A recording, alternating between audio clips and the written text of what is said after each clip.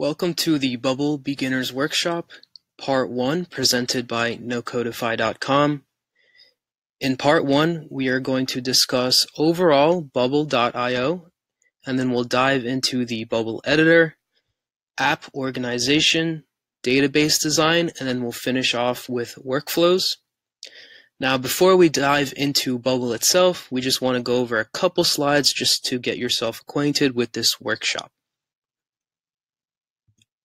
So briefly, we just want to discuss who we are and what we do. Um, we are a business, nocodify.com. We teach how to build web apps and we exclusively teach Bubble. This is because we are firm believers that Bubble is the best no-code platform today. It's the most complex and the most advanced, which is why we're only sticking to Bubble at this point in time.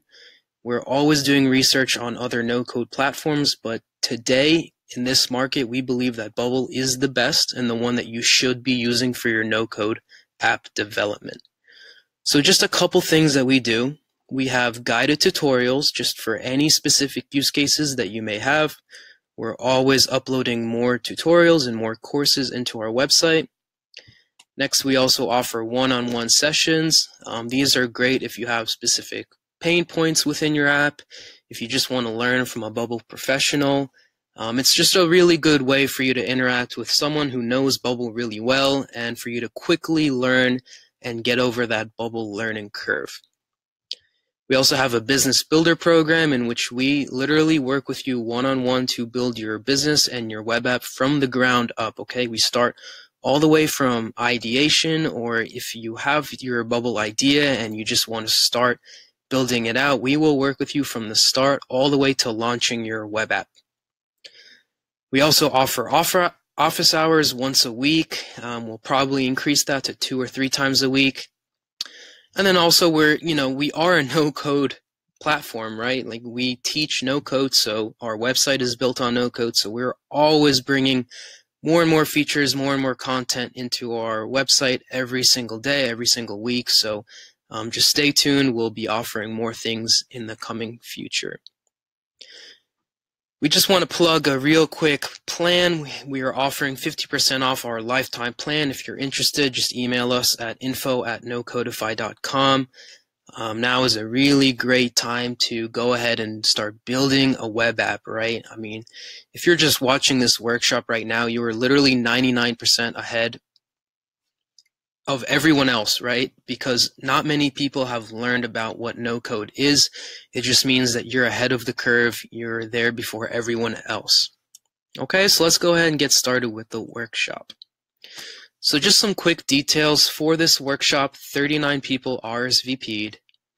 And then within that, 49% of you said that you've never tried Bubble, which is really great, right? Because you're interested in something that is really cool. It's really new, right? Bubble's only been around for four or five years now. It's pretty new.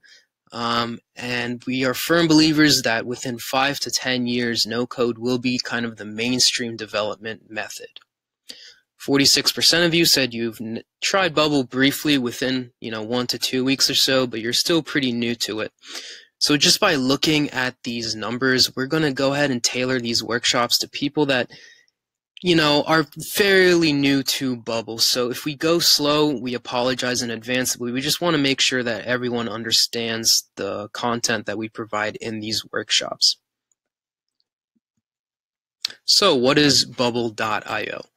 Like we said, we believe that it's the most powerful no-code platform, okay? The amount of customization and flexibility that it offers if we went ahead and asked 10 people to build the same web app, let's say Airbnb, we would definitely get about 10 different Airbnb web apps, okay? Just because there are a thousand different ways to go ahead and build the same web app. So it's it's really powerful and it's the one that we recommend for anyone to build a fully functional web app and an MVP. Bubble is also dynamic, meaning that you know, based on conditions and extra externalities, you can make your website dynamic, right? For one user, your web app can look this certain way, and then for another user, it can look a different way, okay? Now, this is very much so different from other, let's say, no-code website builders such as Squarespace, Wix, and Weebly because those are really good for static web pages, okay? Static landing pages. It's most likely going to look the same for, you know, every single person that happens onto your website. But with Bubble, you can build certain conditions where it's different for any sort of different user in your application. Now, Bubble also has an in-house relational database for every single application that you build on it. Okay, this is really great because you don't need to focus on, you know, building a database somewhere outside of Bubble, um, integrating it with your application, scaling the database, and everything that's required with just starting up a database. It's it's really nice. Now, with that said, you don't have to use the Bubble database. You can use something like Amazon Web Services and then use the API connector to kind of, you know, send things off to the database or retrieve things. But for most use cases, about 99% of people, we just recommend sticking with the Bubble in-house database. And then lastly, there are plugins, okay? So if you know, the item or feature that you want isn't provided by Bubble off the shelf, there are third-party developers on Bubble that, you know, have created plugins. Uh, for example, payment processing, um, live chat. You know, there's so many plugins. Last time we checked, there are over 750 or 800 or so plugins created that you can just go ahead and quickly install them into your application. So let's go ahead and move on. Now, we get this question time and time again, so we just want to go over this briefly, okay? Many people ask us, you know, Bubble or Webflow, which is better? Which one should I be using? So briefly, let's just go over that. Now, with anyone that uses Webflow, okay, the popular Webflow stack is Webflow itself, integrated with MemberStack, integrated with Zapier, and then lastly, also integrated with Airtable, okay? Let's say again, the same example that you're building Airbnb, okay? You'll have obviously the website, you'll have, you know, membership because people can create accounts, some web pages are only limited to people that are logged in, okay? So then now you'll need MemberStack to kind of be able to accommodate those logged in users. Maybe if you have a paywall in your application, you again you'll need MemberStack. For Zapier, you know, you'll want to integrate a database in your web app, so you need something that's sending that's retrieving things from the database as well as sending things to the database. And then lastly, you need Airtable because you need an you need a database, right? So you have four different tools for your no code app. Whereas for Bubble, all you need is Bubble, right? You can use Webflow for the landing page and then Bubble for your actual application. But if you just take the time to learn Bubble, you can knock off all the other three different no-code tools that you might need for Webflow. Okay? Now we give credit to Webflow. They are really good, way better than Bubble in marketing, right? So that's why so many more people have heard of Webflow and so many people have tried Webflow more so than Bubble. But again, if you are building a complex web app, then Bubble really is the way to go. Okay, and look, we're obviously biased, so you know we teach Bubble, we prefer Bubble, so we're definitely going to lean towards Bubble. Um, but if you use Webflow, that's completely okay. Um, but hopefully in this webinar, you'll get a better sense of bubble itself, and you'll be able to make a more informed decision as to what you can do. And then lastly, the last slide we want to go over before we kind of go into Bubble and take a dive into Bubble um, are some comments that we received from you when you were RSVPing. Okay, the first comment being there seems to be a gap of users wanting to do something in Bubble and the Bubble way of doing things. Okay, so Thank you very much for this comment. We have taken that into account when we go ahead and teach um, these two workshops. Um, like we said very on in the start of this workshop, if we gave the kind of like a lesson to build an Airbnb app for 10 people, they would all go ahead and build it differently, right? With the database structure, with the workflows, etc. So while there is a you know, better ways, best practices to build a bubble application. There isn't one, you know, perfect way. Okay. There, there are just general good practices. So we'll go ahead and hit on some of them. Um, but again, don't be too concerned with building your application the right way. You just want to go ahead and make sure that you're building it, you know, with good practices for speed, performance, and organization. Okay, the next comment is focusing on how to go from a Figma template to a Bubble app. So currently, as of March 2020, there is no way for you to design your web app in a design kind of platform such as Figma or Adobe, um, and then easily import it into Bubble. Okay, there is a third-party developer trying to make a plugin for Figma, um, but as of now, there is no way for you to just quickly import your designs into Bubble. Um, so one thing that we recommend is for you to either have your app mockup you know, through Figma or just on pen and paper. And then you just look at that while you're designing your application on Bubble itself. But unfortunately, today there is no way to just import a template. Okay, next is I want to mix a usage of Bubble with other apps. So this is a little more advanced and we probably won't get to it in these two workshops. Um, but there definitely is a way, okay? If you're interested, you can go on the Bubble forum and look up iframes. That's how you go ahead and integrate Bubble with other web apps. So on your WordPress website, you can just add an iframe, okay? And then it would link to Bubble and you can kind of run that Bubble application through webs through WordPress. But unfortunately, it's just too complex and advanced for this kind of beginner's workshop. Next is the example of live sites. So we'll think about this for the next workshop. Oh, sorry, the next workshop.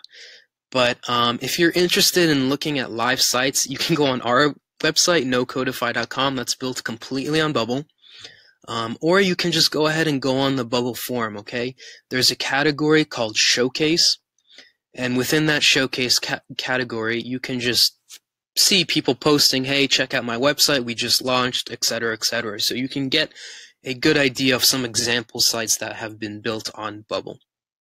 Okay, and the last question, maybe do it from a mobile first perspective. Now, this is great, um, but unfortunately for this workshop, we do want to focus on desktop first just because it's a web app and you know if we were limiting it only to mobile first then we wouldn't get the full scope of Bubble. Um, and then with that said as well, we just want to let you guys know that it's still on Bubble's roadmap, but you cannot build a mobile app on Bubble and then quickly and easily import it and export it to the you know Google Play Store or the iOS store. Um, you can go ahead and build a mobile app on Bubble, and then you can wrap it in a wrapper and then then go ahead and export it into iOS and the Google Play Store. But Bubble doesn't give you a seamless transition. You'll, there are a couple extra steps. They're not hard, for sure. They're not hard, but you know Bubble doesn't offer that. Okay, you're gonna have to go to some third-party websites to go ahead and create your Bubble uh, mobile app.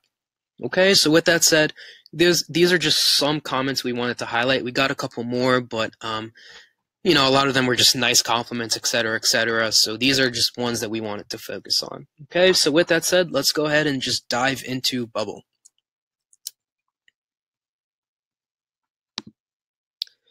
So here we have a brand new Bubble editor.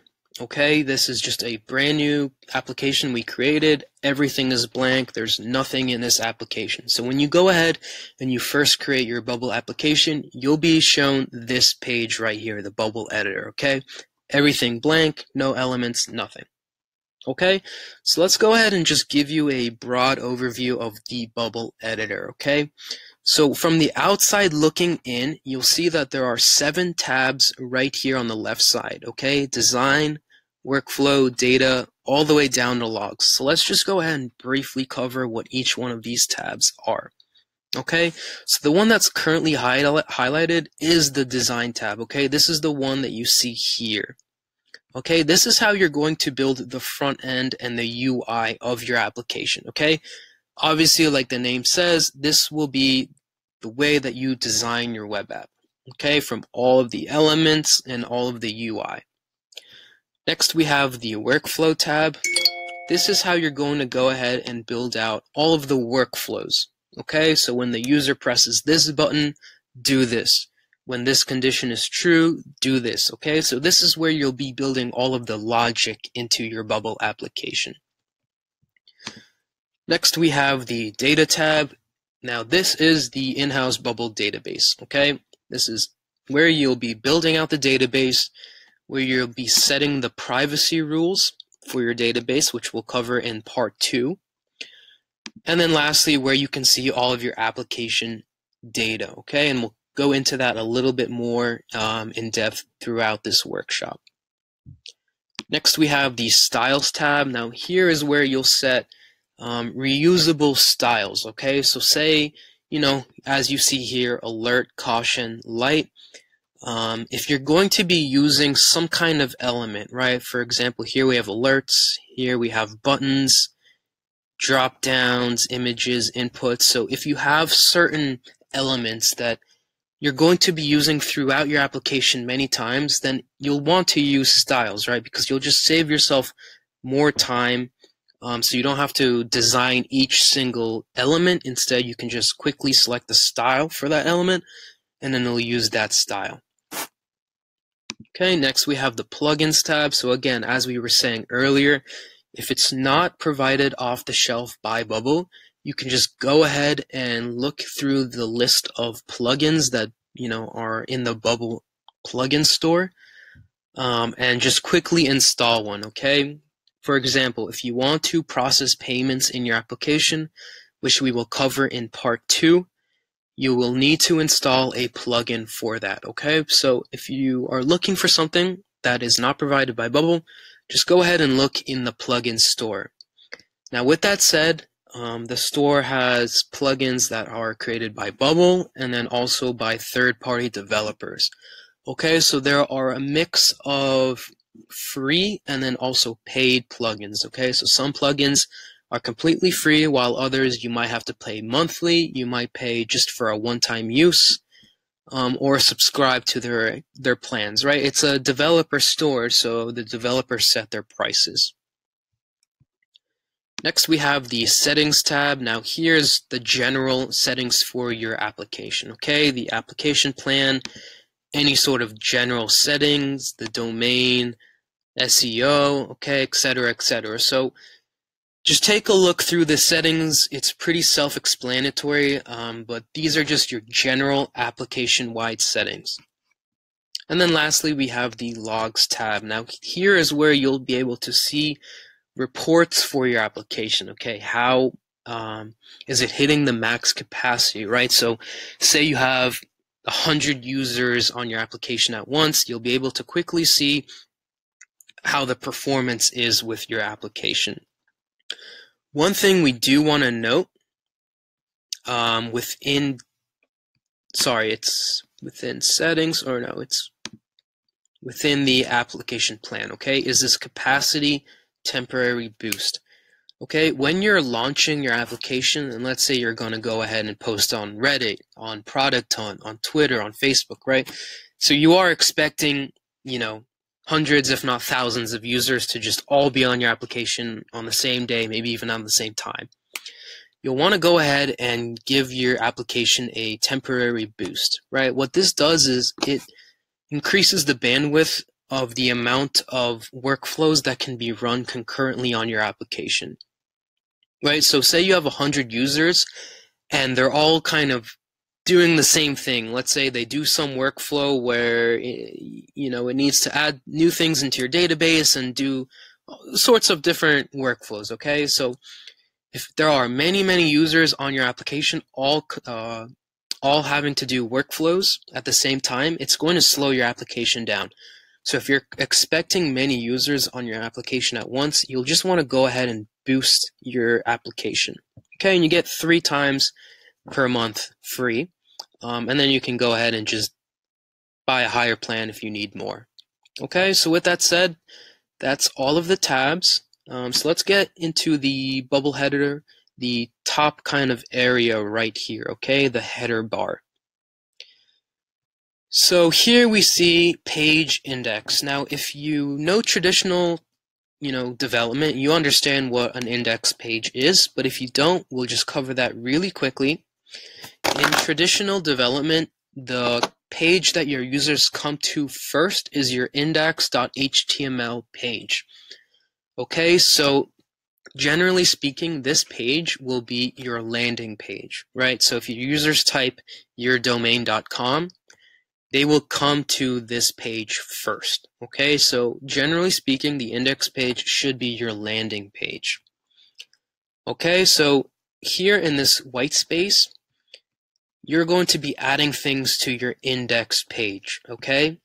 But say we wanted to create another page, right? Let's go ahead and we'll click this drop down and we see all of the pages that Bubble gives us by default.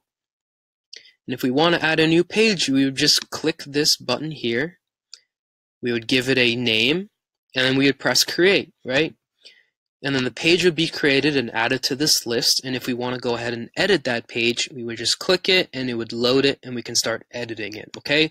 So this blank space is always the the page that's provided right here that you're editing.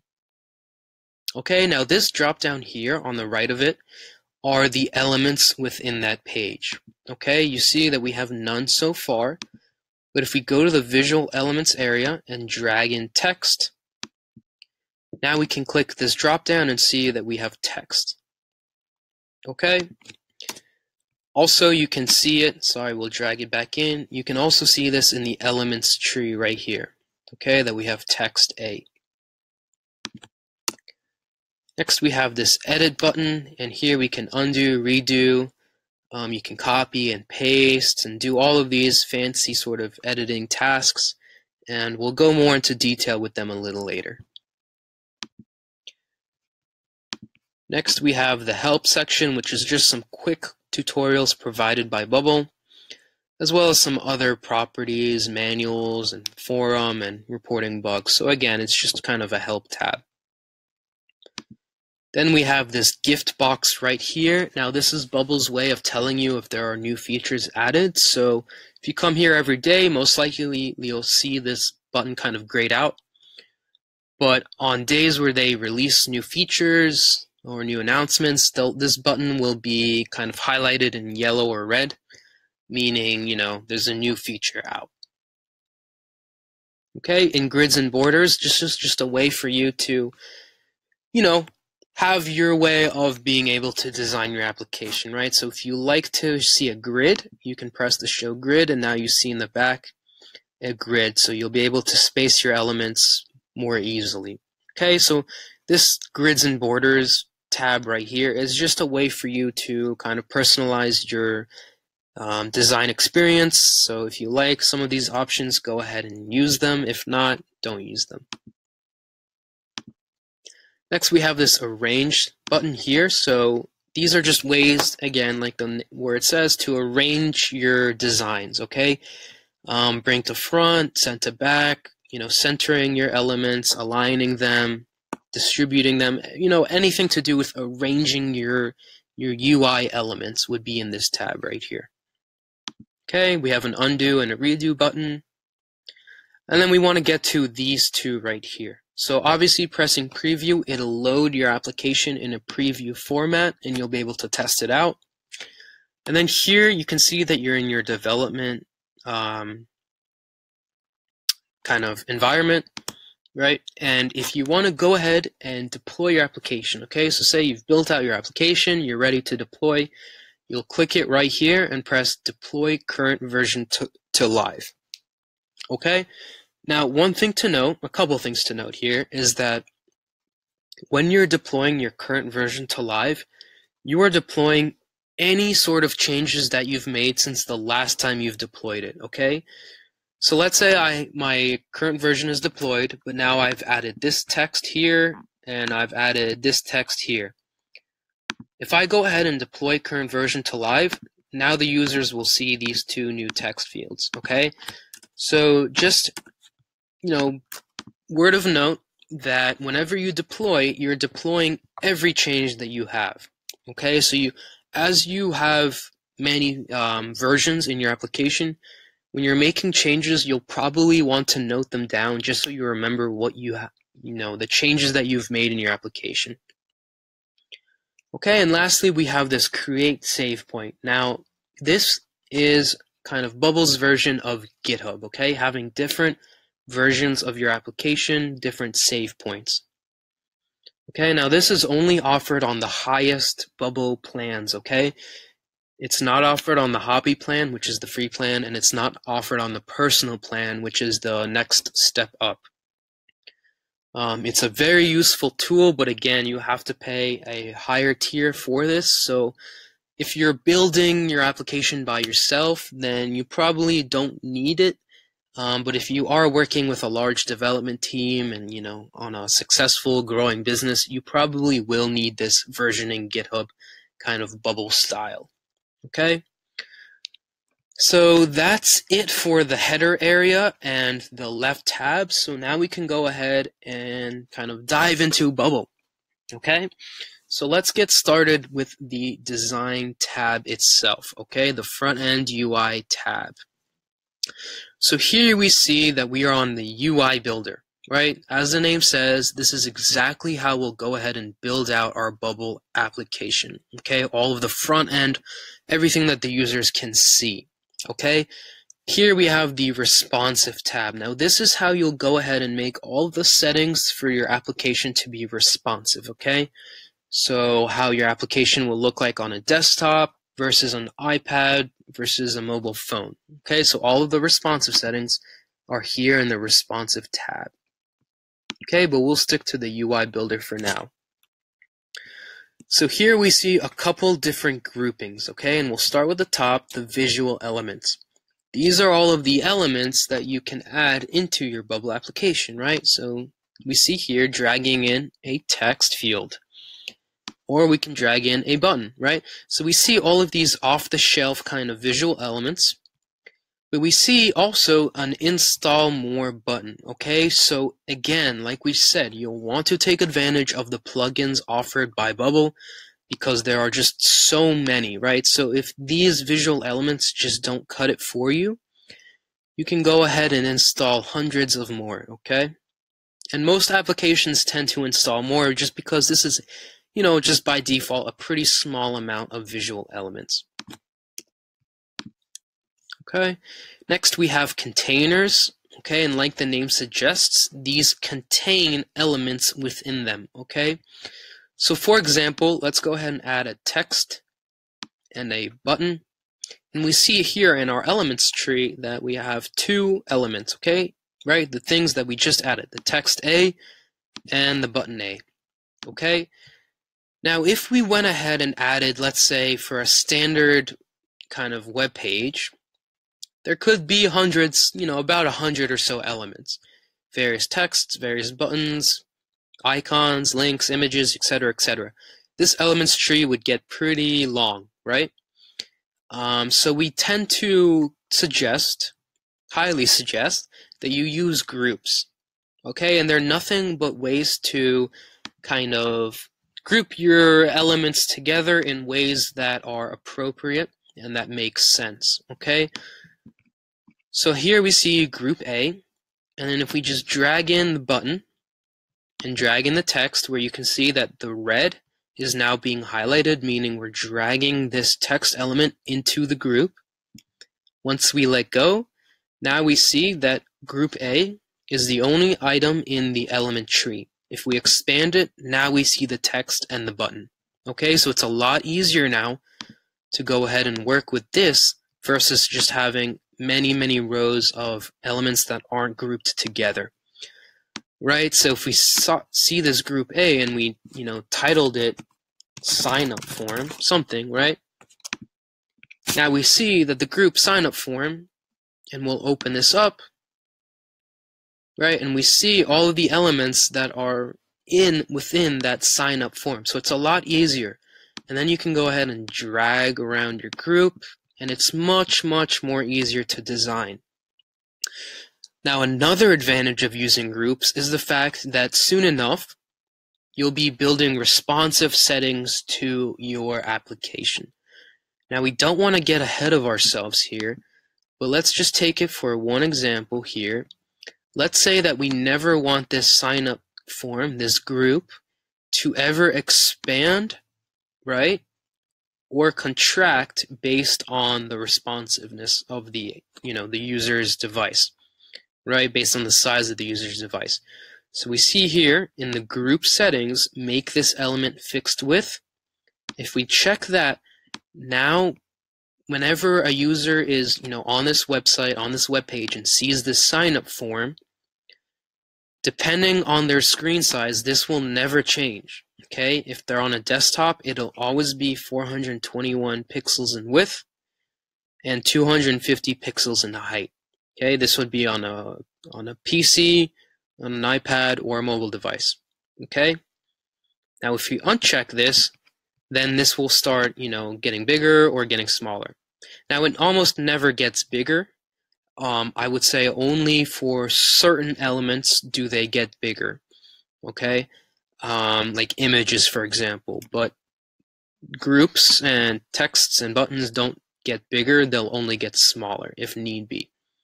Okay, so again, with groups, you'll want to go ahead and group your elements where it makes sense to. Okay, Really quickly, one good example of grouping elements together is let's say we have a hero section on our landing page.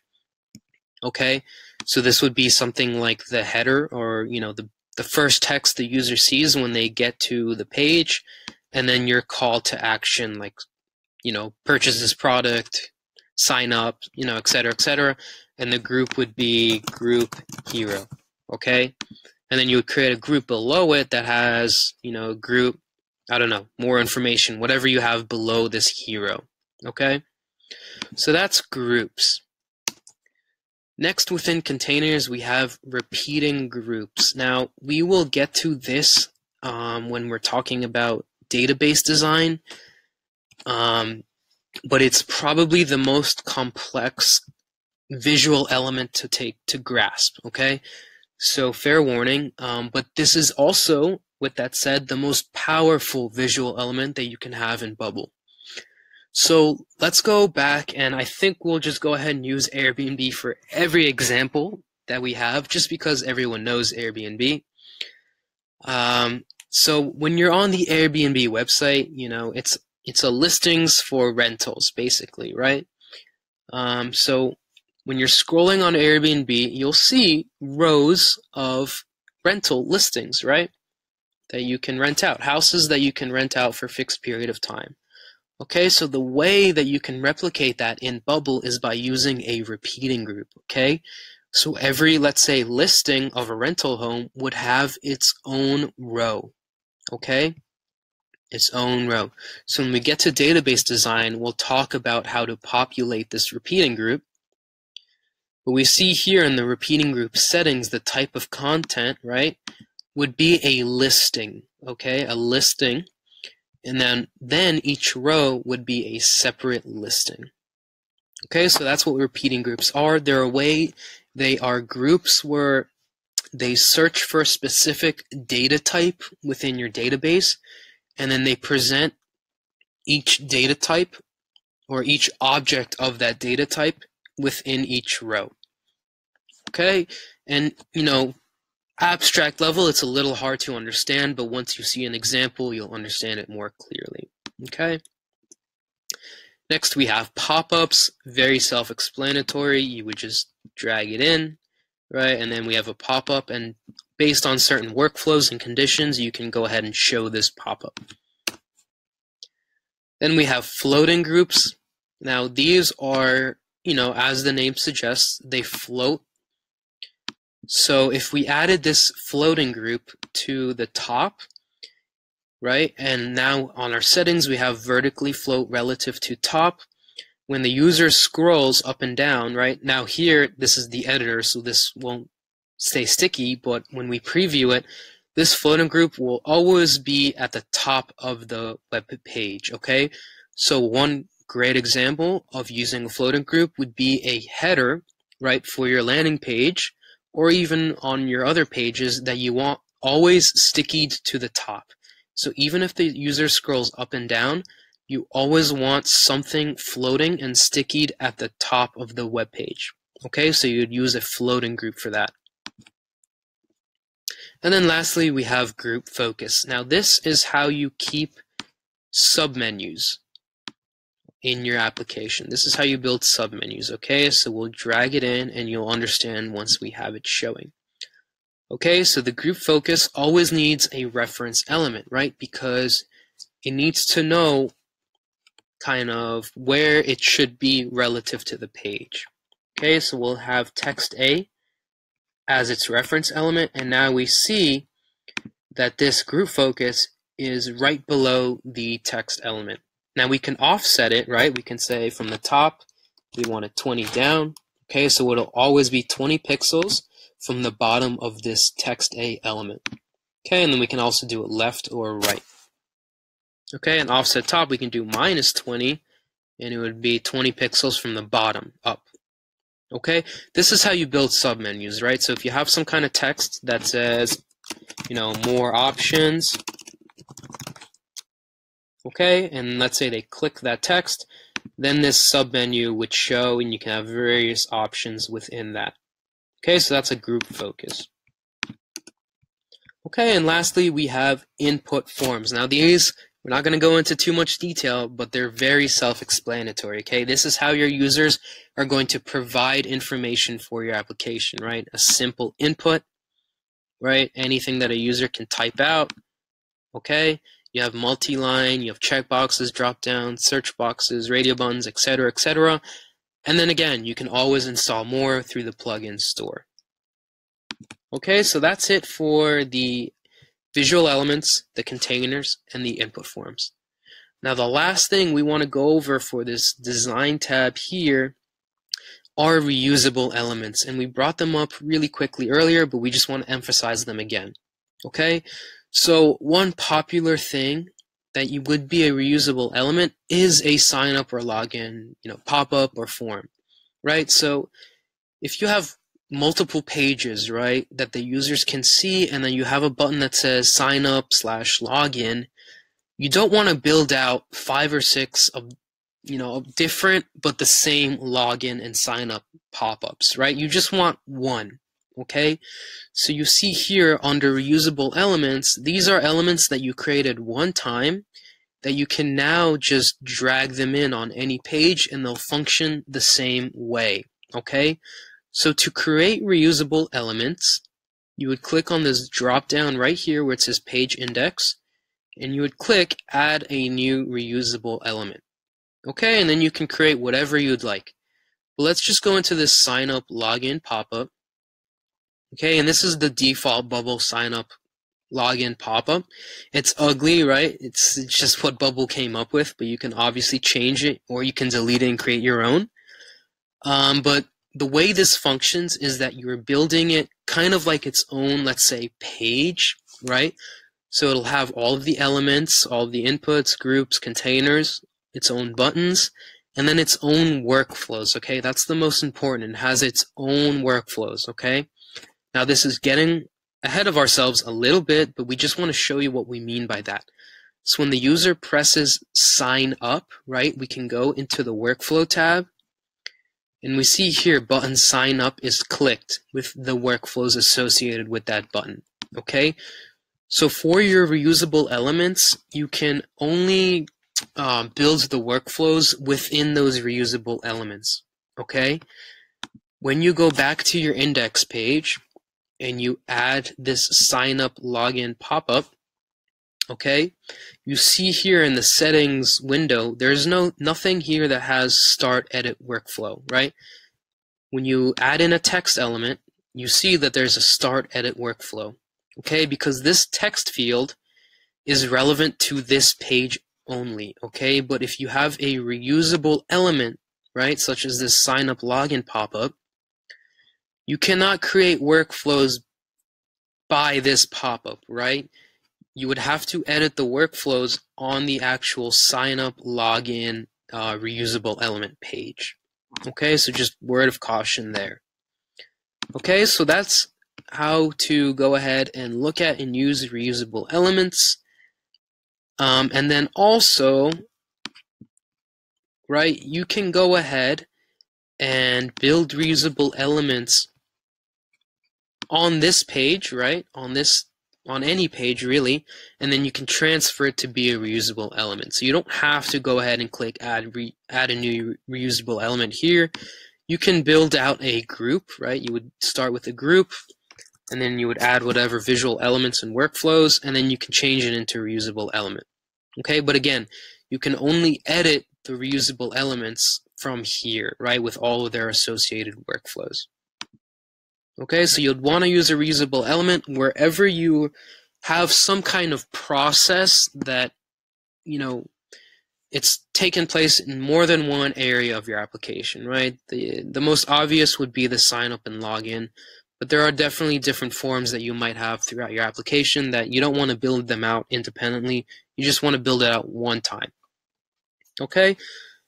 The last two things we want to cover for the design tab are the settings, okay? So for any element, for any container, for any input, you have settings, okay? So by clicking text A, we have this settings kind of pop up open up with all of these different settings, okay? We have a style associated, which we'll just cover in one minute, but if we remove the style, now we can go ahead and give it its properties for the actual text.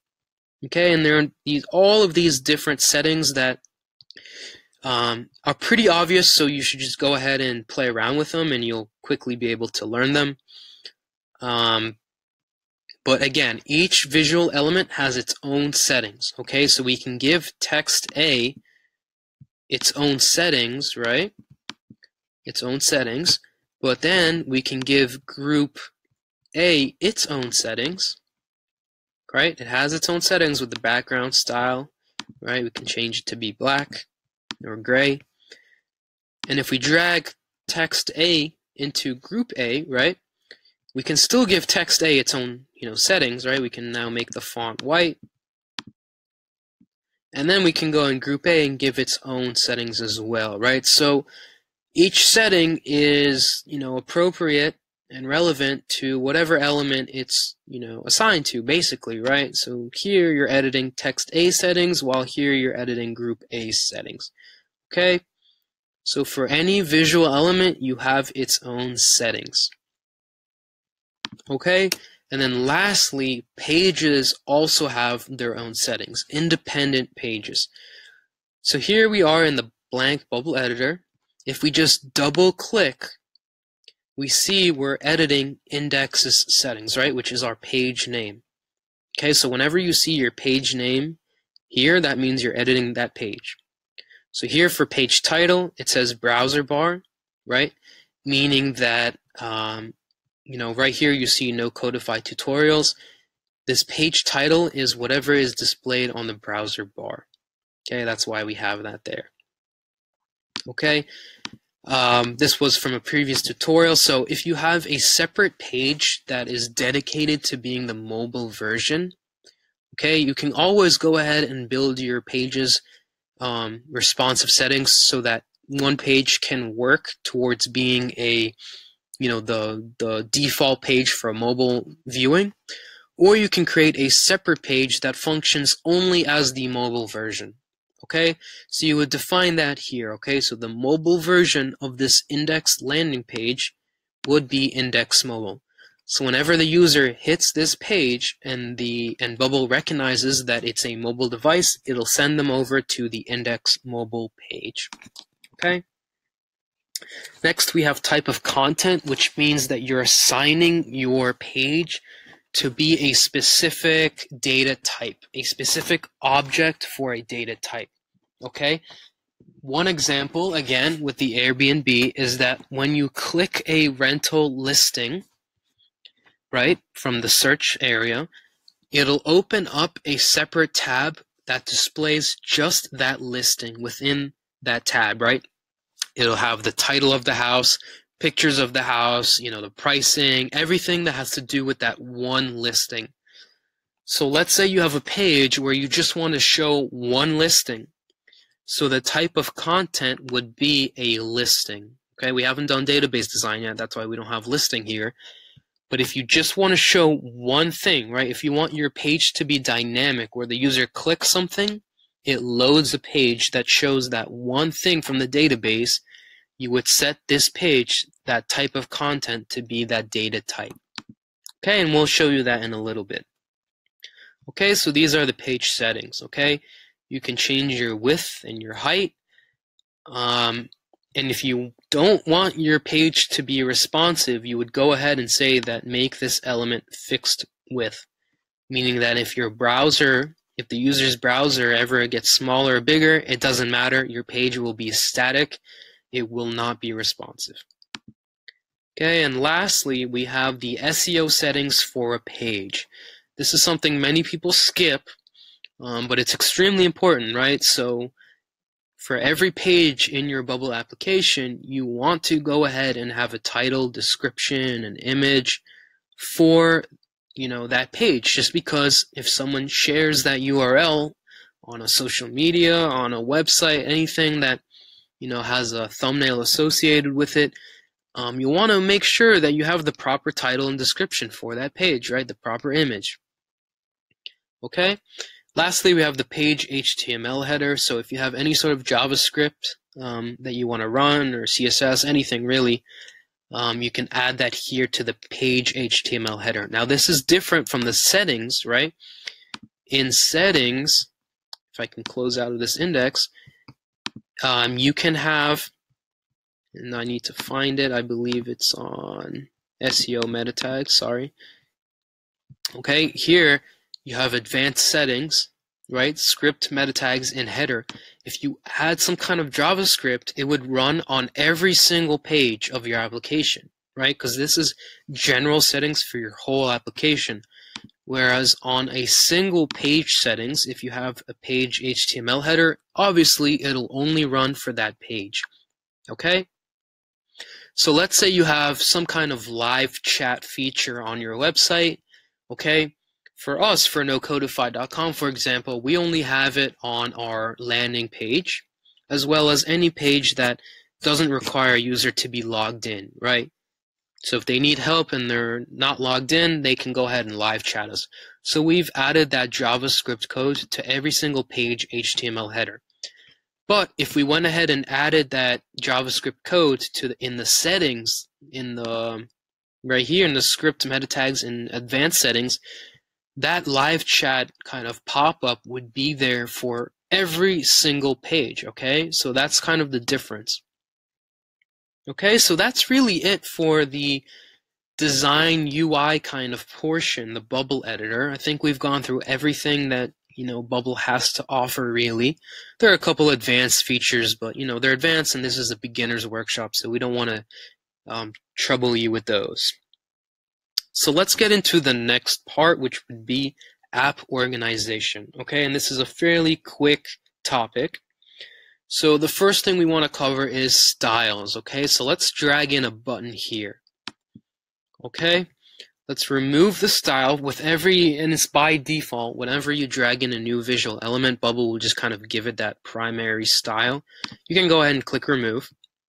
Okay, now let's say we're designing this button that's, you know, we're going to use it in many different areas of our application, right?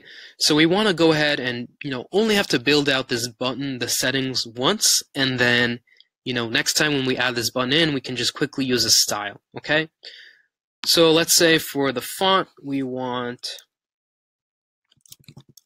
Roboto 500. Okay. We want the text size to be 18. We want it bolded. We want it italicized. Let's just write the text. Okay. And the font we want red. I don't know, right? It's an ugly button, but it's just for showcase purposes. Okay, let's say we're going to use this button here everywhere not everywhere, but many times within our application, right? So we'll give it a style, right? Let's create a new style and say main button. Okay? Once we create this, now we see the style of this button is the main button style. And now we see that there are many, there are less settings, right? Because we're using a style. If we want to edit the style, we'd click edit style and we'd come to this area on the styles um, tab where we can edit that style right here on the right. Okay, now let's see how useful using styles are, right? So now we'll add in another button, and we see that now Bubble gave it that default primary style. We'll remove it, okay? And now it would take us, what, you know, two, three minutes to go ahead and use the same style as this one, right, to build it from the ground up. Or we can quickly go in style and click main button, and then boom, we got that red text with the italicized, with the bolded, and the font. Okay, the one thing that doesn't carry over, obviously, is the actual text for the button, right? Which would be annoying if when you created styles, every single button would also carry the hello text, right? maybe for this button I want it to say sign up. Okay, so it's not going to carry over the actual text of the button. It'll just carry over all of the look properties of it. Okay, so that's styles. Okay, so for anything that you're going to use many times within your application, it's good to go ahead and use styles. Okay, next we have reusable elements that we have written down, but we covered it pretty much in depth, okay? So again, just to stress out, if you have many different forms, right? If you have, let's say a header, okay? A header is a really good example, right? If you're on Airbnb again, and you're browsing many different listings, many different pages, the header bar almost always looks the same. The only difference with the header bar is if the user is logged in or if they're logged out. So you can only you only have to build out two headers for your whole application. One of them being the user's logged out, one of them being the user's logged in. If you'd like, you can actually only build out one header where you have certain conditions to only show certain elements based on if the user is logged in or out. So you could only maybe have to build one, but if you'd like, you can build two. Okay, and now these would just be reusable elements. So for example, we'll go in this dropdown we see Bubble actually has a header reusable element. Okay? Fairly simple, right? But this is it, right? So now when we're building out certain pages, all we have to do is scroll down and we can drag in this header, okay? We can give it an x coordinate of y, or sorry, of 0 and a y uh, coordinate of 0, and now it's at the top. Okay, and there is our reusable element. So now on another page, we can quickly go ahead and bring in this header reusable element on another page, okay? So we don't have to keep constantly be keeping building new headers, okay? We just build it one time, we make it a reusable element, and now we can use it in many places of our application. Okay, so that's reusable elements. Now, the very last thing for app organization that we want to talk about are using pages versus using groups. Okay, now this is a big thing for people that are new to Bubble or even application de- uh, development in general. Okay, many people when they first start using Bubble, um, they'll go ahead and create a new page for everything. Okay, for everything that's associated with anything right? So, for example, a, you know, someone can build in their Bubble application a profile page, would which would be the user's profile, and then a separate settings page. Okay. Now let's go ahead and test this out, right? So we'll have a text here that will say profile. Okay, and we'll add another text that says settings. Okay. Now, for example, if we had two separate pages, okay, one being a profile page and one being a settings page, and I mean that right here, right? If we added a new page, one being profile, one being settings. Let's say that this profile was uh, text was a link, right? If the user clicked it, it would take them to the profile page. This would take most likely about three to four seconds to load, right? Um, but and then also for the settings, right? If the user clicked settings, it would take another three, four seconds to load the settings page. But if the if you went ahead and build out your Bubble application where you have groups, okay, you have a profile group, okay, and then you copy and pasted it, and now you have a settings group. Okay, so you have two groups, one for and we'll rename this so it's easier to understand. If I could type group settings and then group profile. Okay. So if you have two different groups, okay, now you can just have it when the user clicks this profile link, you would show the profile group. Okay, and if they clicked the settings link, it would hide maybe the profile group and show the settings group. Now Bubble is very good at handling workflows, okay? So this would happen within milliseconds, okay? Like instantaneously, really. It would hide profile, show settings, or or uh, hide settings, show profile, okay? So you'll want to use groups as much as possible where it makes sense to, right? So you don't want to have one page of your bubble application just with hundreds of hidden groups, okay? Because it doesn't make sense to, right? But if you have some kind of page, right, where it makes sense to have just groups that are hidden and groups that are showing, and then by clicking various buttons, various links, it would hide some and show others. It's much faster, okay? And it's a better experience for the user than taking them to separate pages, okay? So that's just a word of note for app organization. Now, lastly, because of this, Bubble made it very nice that having many groups within one page does not harm your the speed of your Bubble application. And when I say this, I mean it doesn't harm the speed if your groups are hidden on page load. Okay? What this means is that when the page loads for the first time, it only loads the data that's shown on page load, that's visible on page load. So let's say that this group settings right here isn't, you don't want it to show when the user first comes to this page. So we would double click this group settings. Okay, we'd scroll down and on this element is visible on page load, we would click uncheck this checkbox. Okay, so now when we load this page, obviously group settings will not show on page load. Okay, we'll need some workflow or, or some condition to show this group. Okay, so by this group being hidden on page load, it's not making our performance any worse for our Bubble application. Okay, it's making it better because now Bubble doesn't have to, let's say, load whatever is in this text field or load this button within this settings group. Okay, whatever is displayed in this text field or this button, which is gone for some reason. button A. Here we go within the settings now.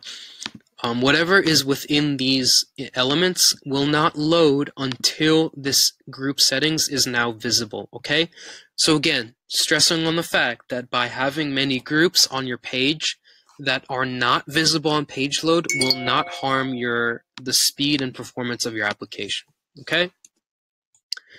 So that's it with application organization, and now we can move on to database design, okay? Bubble is a relational database, meaning that you want to go ahead and silo out all of the different data types that your application has, and you'll want to go ahead and relate things together, okay? That's really what a relational database is. If you don't know what it is, you can just go ahead on Google and YouTube and, you know, quickly take a 20 30 minute lesson on it. We're, we do not want to dive deep within this workshop on what it is. Um, so if you don't understand it just go ahead and quickly do a little research on what relational databases are. Um, but for now let's just go ahead and kind of show you how we would build out this airbnb database design okay now focusing on these custom data types these are your big big parts of your database okay so for example by default Bubble has a user data type, okay, because your application will have users on it. Um, and then within each data type, there are data fields, okay? So for the, uh, the data type user, we see the fields that are provided, okay? By default, Bubble has email, modified date, and created date for the user, but we can always add more, okay? So let's say for every user of our application, right? For every object of the user data type, we want to collect the user's full name. Okay, now this field type, we have all of these different options, okay, that the, the data field can be. Now, obviously, for full name, it's just going to be a text field. Okay, and we'll cover what this field as a list means in a couple moments. Okay, and when we hit create, we see that the full name is now a text. Okay, next we can add maybe date of birth, right? Which would be a date. And we'll go ahead and create that. Now to showcase the field that, you know, this field is a list, okay, just as, a, as an example of when you would use this, let's say we want to track within our database log in attempts. Okay, every time the user logs into the application, we want to go ahead and log that within our database so we know how active our users are. So this field type would be a date, right? We'd capture when they've the date and the time that they've logged into the application. And we would say this field is a list, right? It's multiple entries. Okay, we'll check this and press create. So now we see that it's a list of dates. Okay, so for this one data field, we'll have an array of dates. Okay, for the full name, right, for the text data field, that's full name, it's not a list, meaning that for every object, for every instance of a user, for every one user, there can they can only have one full name associated with them. Okay?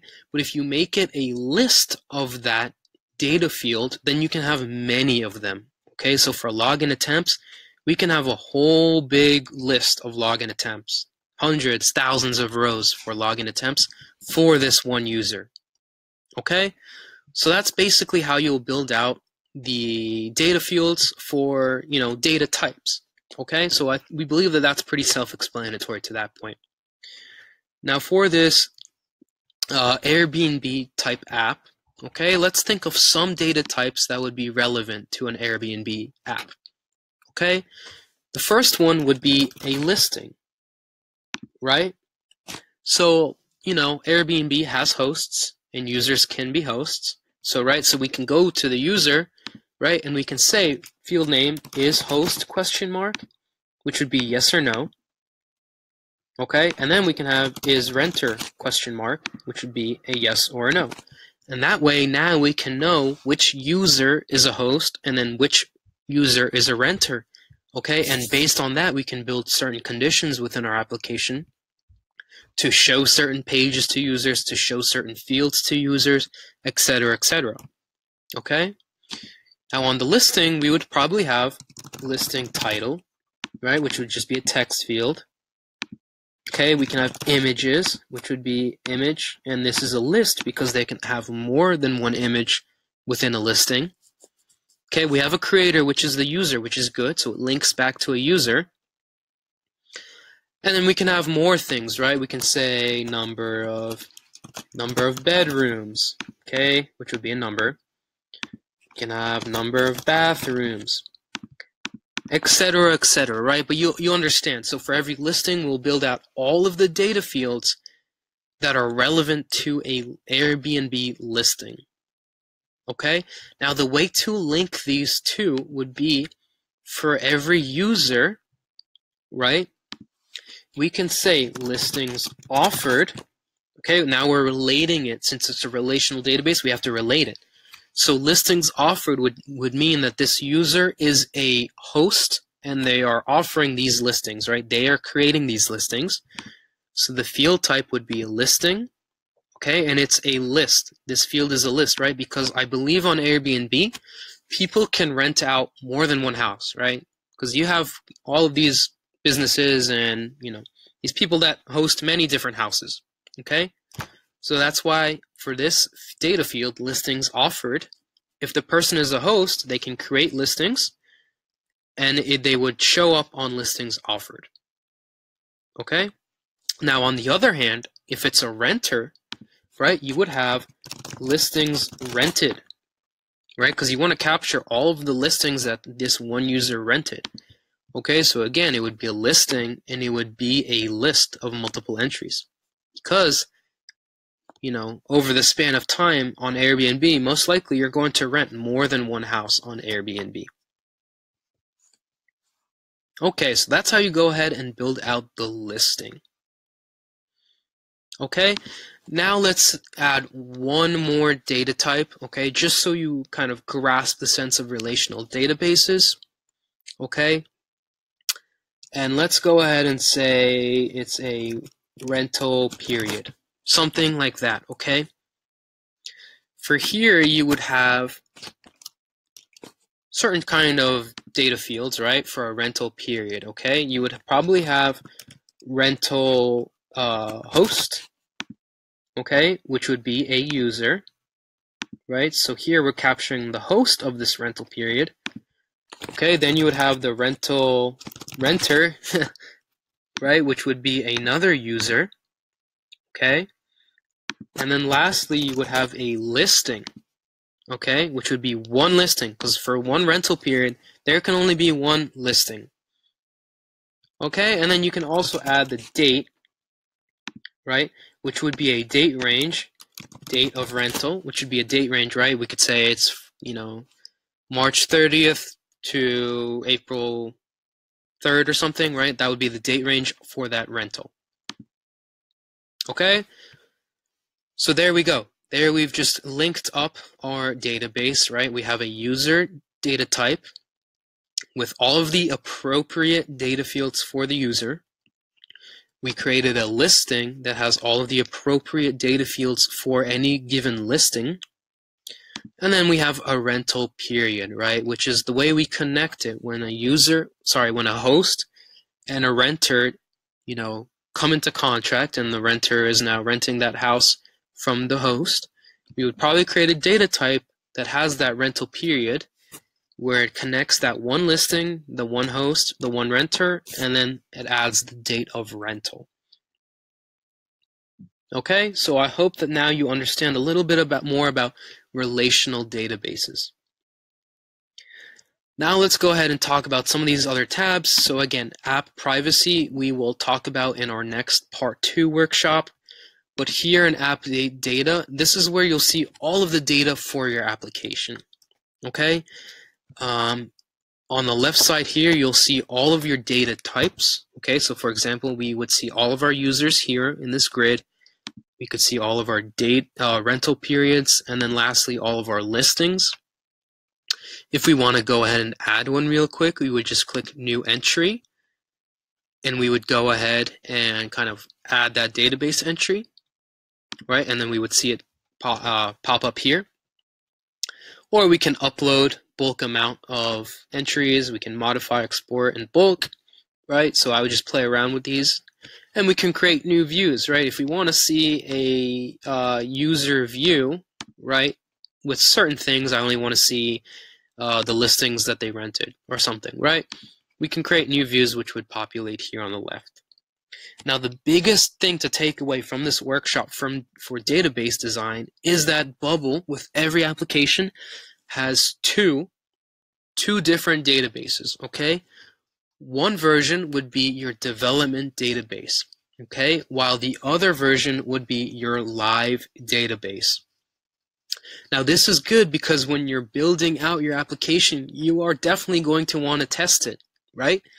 So by having two different versions, by you testing it, by you creating new users, um, creating example listings, example rental periods, just so you test out your application. In no way, shape, or form are you harming your live database, right? So these two da- database environments are completely separate. Okay, you will not have to um, kind of manage each database together. They are managed completely separately. If you want to see your development database, you would be in the development environment. If you want to see your live database, you would click switch to live database.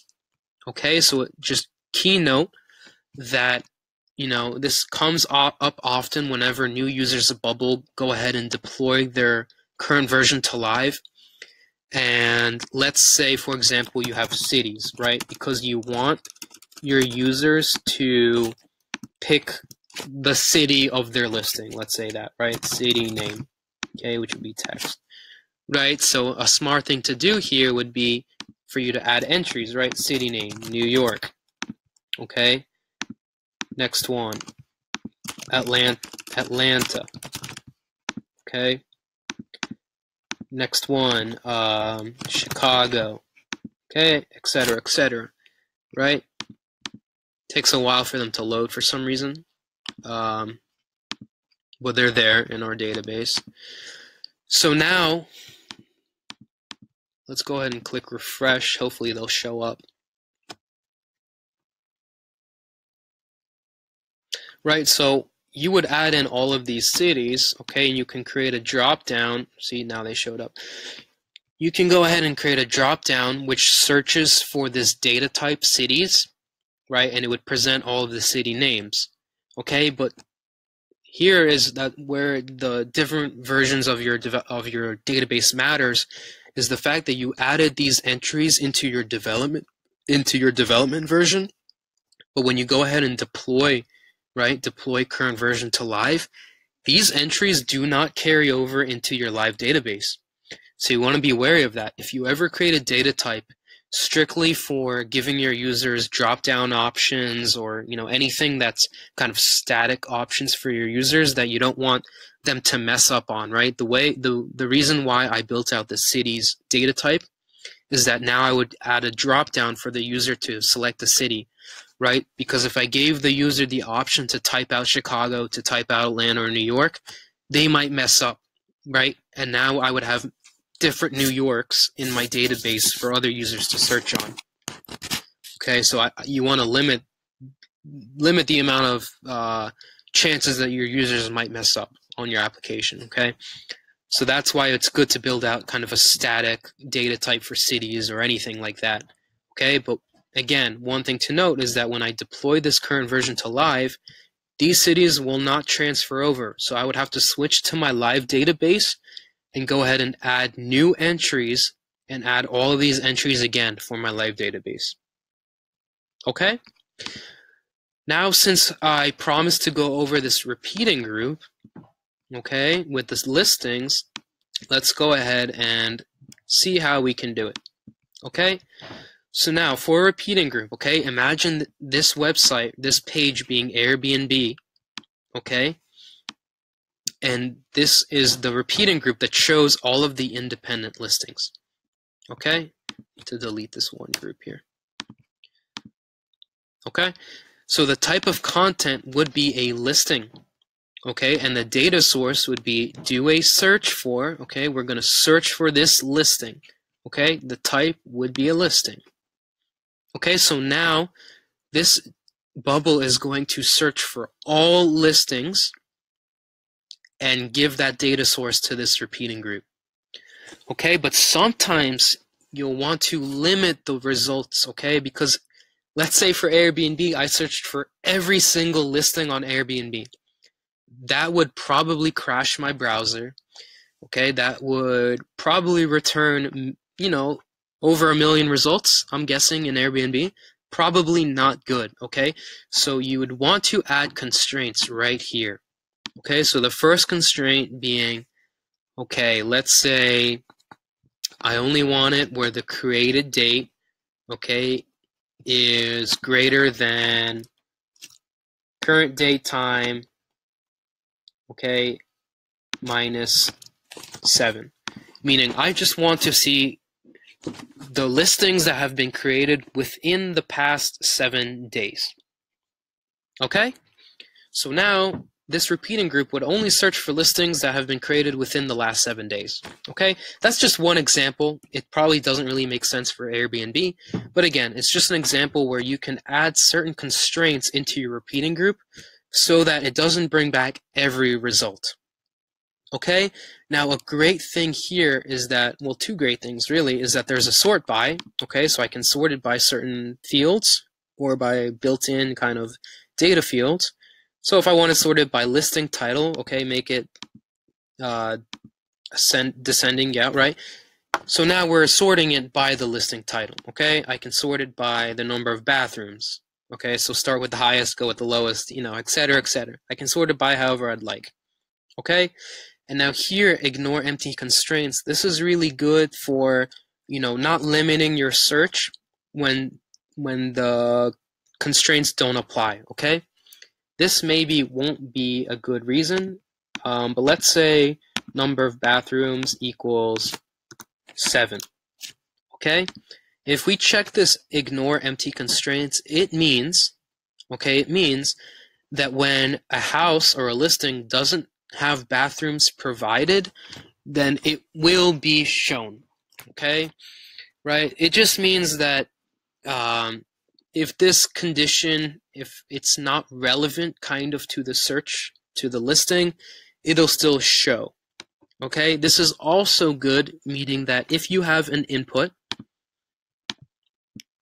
okay, let's have an input here, input A, right? And now in our search for listings, this will make more clear sense for ignore empty constraints. Let's say add a new constraint, the listing title contains input A's value. Okay, meaning now we will have only show the listings that are relevant to this input, right? So if the user typed in um, Los Angeles house, it would only search for listings where the listing title contains Los Angeles house, okay? But now this ignore empty constraints means that if this input is empty, right?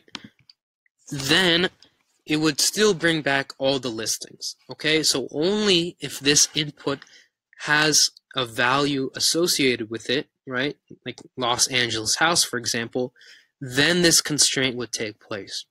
If this input field is empty, then it would just ignore this one constraint. Okay, so that's this ignore empty constraints. Okay,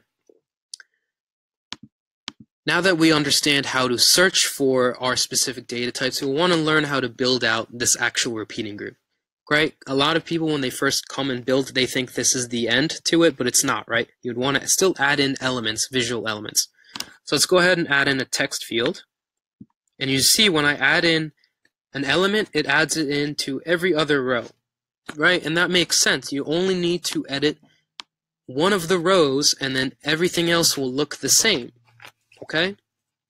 So for this text A, we'll want to add in dynamic data, and we'll say this current cell's listing, right?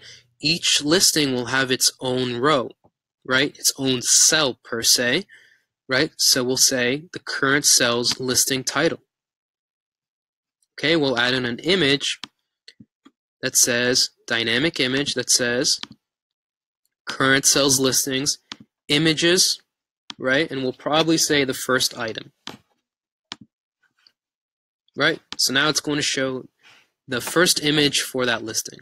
Okay? And this is how we build out a repeating group. That's it. Okay? We'll add in all of the elements into this first row. And then all of the next rows will look the same way. Okay?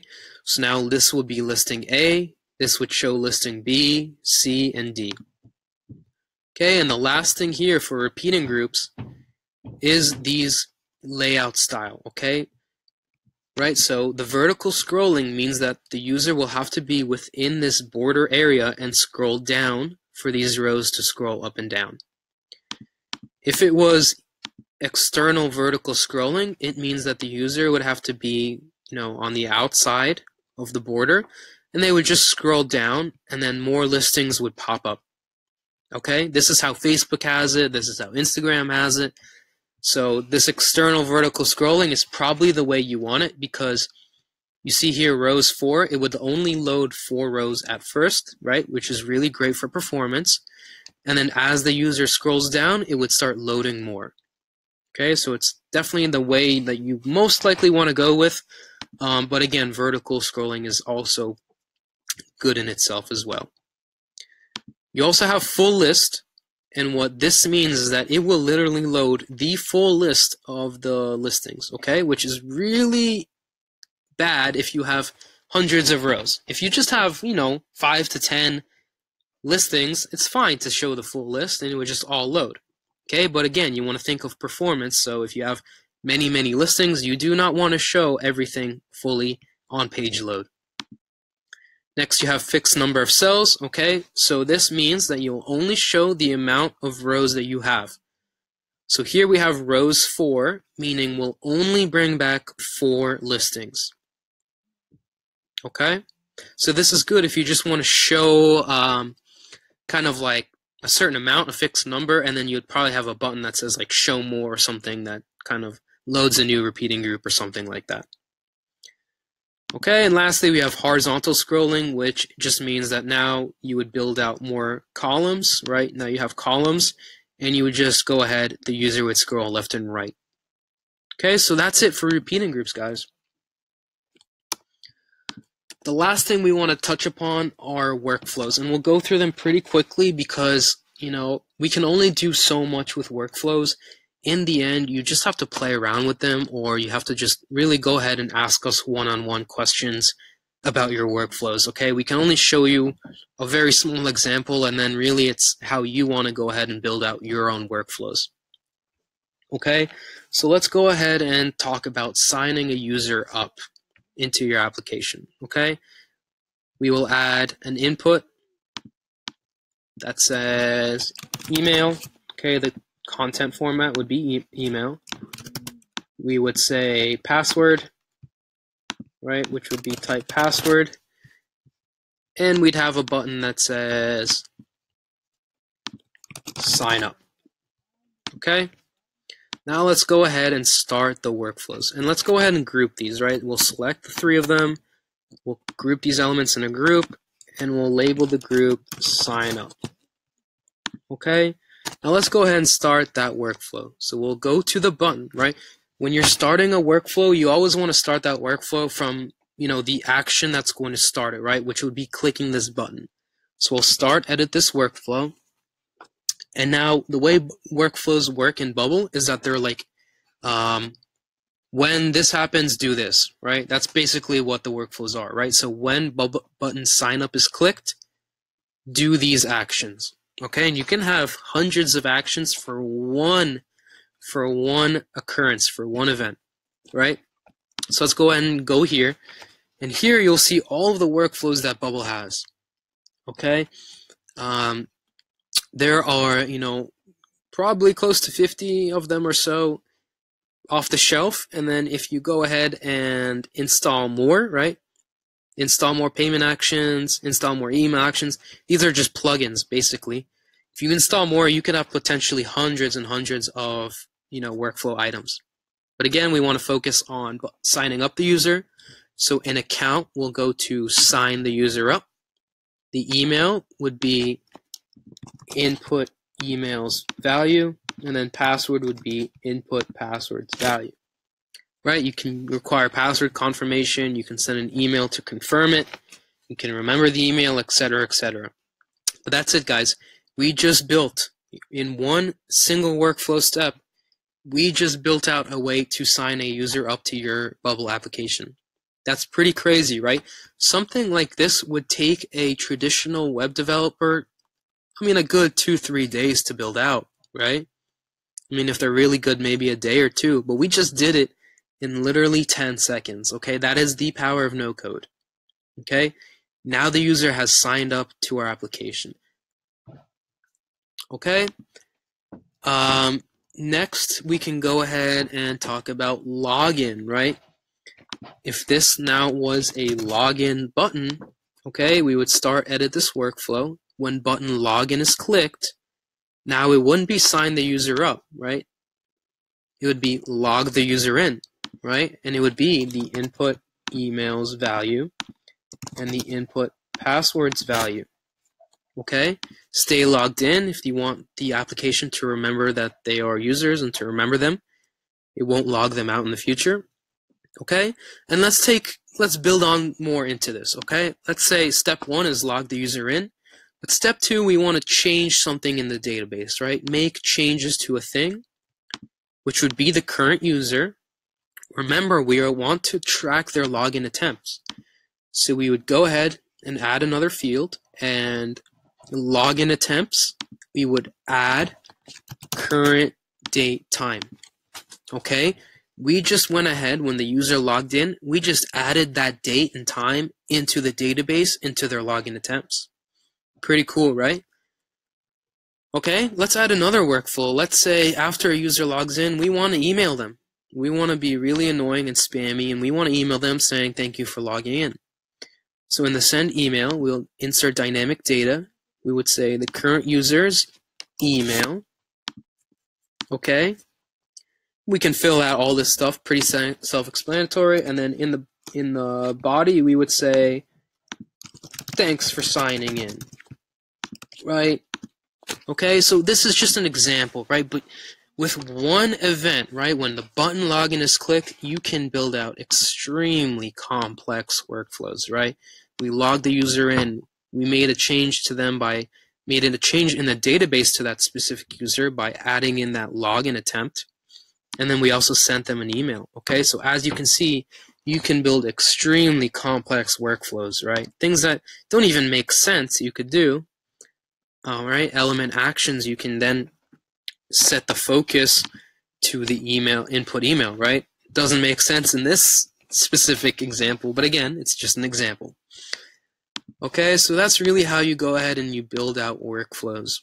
Okay, um, again, workflows are hard to teach. Um, in future workshops, we will be built like replicating applications and such, so you'll be able to to get a little more um, in depth with workflows. But again, if we're just kind of showing you workflows, it's a little hard to talk about all of them just because there's so many.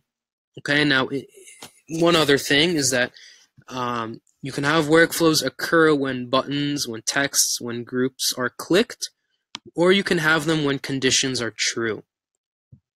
Right, so we see here do when condition is true, do every five seconds, page is loaded, if the user is logged in or logged out, right? If an element is clicked, do this, etc., etc., right?